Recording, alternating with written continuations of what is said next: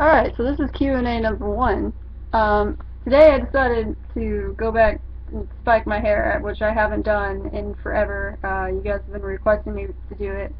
Um, and I talked about it in the video below this, and very shortly I will be having a tutorial over it. Alright, so uh, I'm going to start with your questions. This might take a while to get through because there's uh, quite a few. Um, -doo -doo -doo. Okay, this comes from Helda L. Har Harwari. Alright. Oh, and if I pronunciate your names wrong, it's because I'm dyslexic and I can't friggin' read to save my life. Alright, it says, uh, question, okay, Q&A. Besides voicing your feelings in vlogs, how do you deal with any hate you get in real life, and how do you keep your head up? Um, well, I'm sure that people probably look at me, especially when I look like this, and they're probably saying, especially strangers, people that don't know me, or my personality, they're probably like, what the fuck? Um, I've, it's, it's very rare that I ever actually, um, keep people that, uh, dislike me with a fiery passion and express it. Um, but I have had some incidents where, um, shit's gone down in my life. Basically, I believe everything happens for a reason. I've said this many, many times. Um, and I shrug it off because even if it is something that's hateful or whatever, um, I'm just like, well, that's their problem. And usually it's in high school. And I'm graduating early this year, so I really, I don't care. Especially if it's an underclassman. It just doesn't get to me anymore. But I will say my freshman year, it was um, a little difficult um, dealing with stuff, um, especially sexuality-wise. Uh, I never really had a lot of people that voiced to me um, how weird it was. Um, but I know that people did talk about me behind my back a lot, uh, whether I was friends with them or not. Um, they would be like, "Oh, that's Wendy, that lesbian weird girl or whatever." Um, so yeah, I don't know. It was just, it's because I don't really, I didn't hang out with people outside of school besides working at uh, Loud House, which is like a music venue coffee thing, but people there all look like what I used to look like, so, I mean, I fit in there. So, I really didn't hang out with people, and how I dealt with it was not interacting with anybody uh, beyond my really close friends, which was like five people. So, that's how I dealt with that, it's because I didn't, I didn't really get involved. If they tried to start something, or, uh, I don't know, I just hung out with the people that I knew accepted me, and that's it. So, alright. Um, uh, uh, Leslie and Nitzy. Um, my well, my question was, what do you do if you get bullied so much because of our height? Um, I'm pretty average size. Um, I've never been bullied because of my height. Um, so I, I guess I can't really answer that. Um, do you plan on make? Oh, this comes from Ashley Cherry. Uh, do you plan on making videos forever? Uh, forever. I won't live forever, so I guess not. but I plan on making them for a while. I don't. I don't see why I wouldn't be able to. Um, this is from Pac, uh, Paco or Paco Miller. Um, are you ever gonna dye your hair black ever again? Uh, most likely not. Not really. It's, um, it took me forever to get it like this, and, uh, I don't plan on doing it like that ever again. But, you know, I'm not to say it won't happen. Maybe someday in the future I will, but I, I, I doubt it. Uh, oh, oh, hello, big name. Um, Amberil S33D34DP3OPL3 cross. Yeah, okay. What is your biggest fear and oh this one's good. What is your biggest fear and have you ever tried to get over it? Oh lord. I have many fears in this world and when I say this I'm not trying to sound funny because when I say it it kinda makes me sound crazy or I'm being sarcastic but I'm absolutely serious. I have a huge fear of werewolves. And I mean I could watch movies about them but uh, I have hallucinating hallucinations sometimes, and uh, I either saw one or I was just tripping. And by tripping, I mean like no, I wasn't doing drugs. I naturally hallucinate. I have hallucinations, especially when I get really tired. I have really bad sleep problems. Um, but no, my, my other normal fears, um, I'm scared of the dark. Mostly because I don't like werewolves. But that and because you can't see anything. Have I ever tried to get over it? Yes. I'm comfortable in my house, but I always have like a light with me, but when it comes to going outside, unless I'm in like a car, I can't handle it. Um, yeah, I've tried to get over it. Also, I can't swim. I'm a little scared of water too.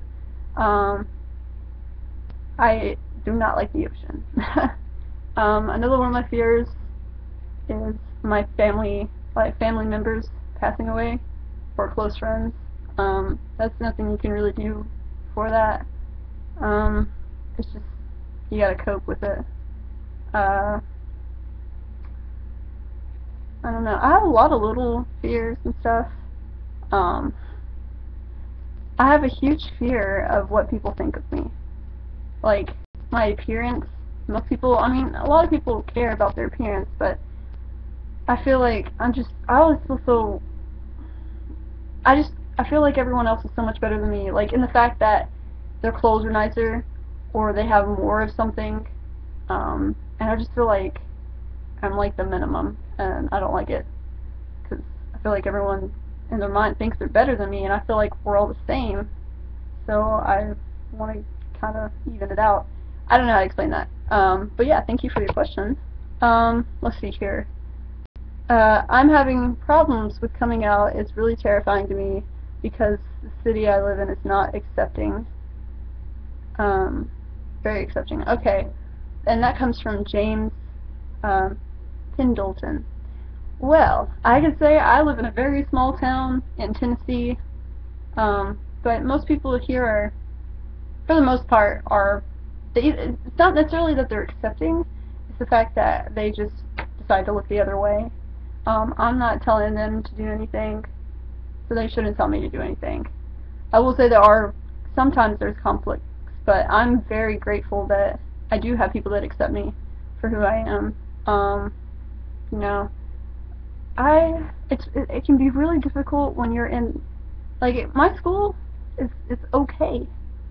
Um, other schools, though, I will say it's pretty, it's, it's probably really terrifying because a lot of schools, they just have a lot of bullies.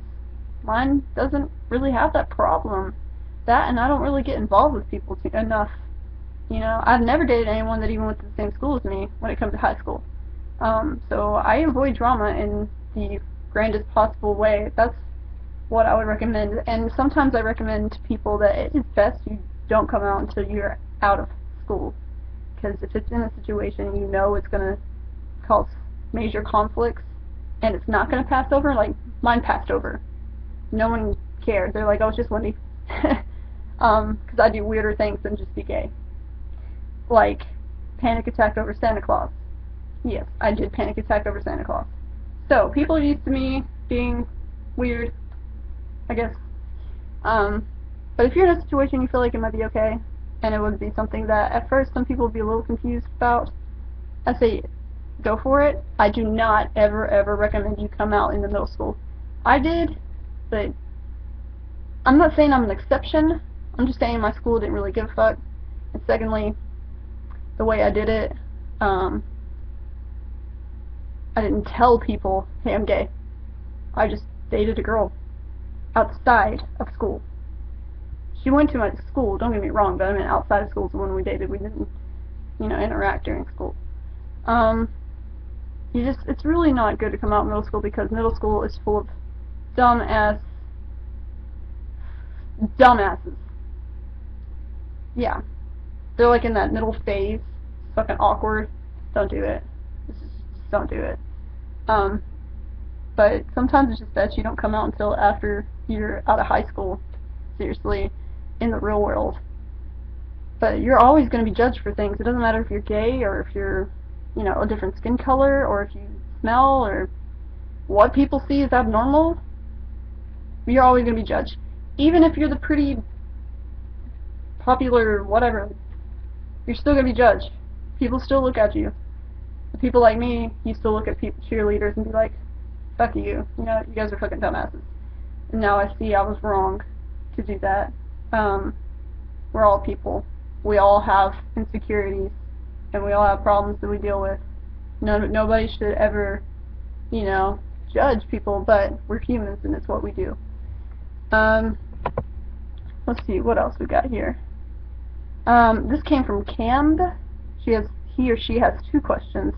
Do you like dubstep? Yes, I like dubstep. Um, also, another Cam's question, um, how do I answer a question?